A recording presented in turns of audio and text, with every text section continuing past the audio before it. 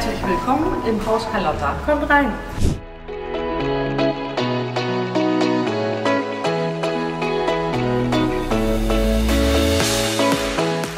Willkommen in unserer neuen Wohngemeinschaft, dem Haus Carlotta im Gesundheitscampus am Krankenhaus in Warendorf. Hier versorgen wir mit unserem engagierten Team zukünftig 16 ältere Menschen mit Unterstützungsbedarf. Durch die kleine Gruppe entsteht eine familiäre Atmosphäre, in der das Arbeiten viel Spaß macht und den Pflegenden mehr Zeit für die BewohnerInnen bleibt. Im Herzstück der Wohngemeinschaft, der großzügigen Wohnküche, wird täglich frisch gekocht.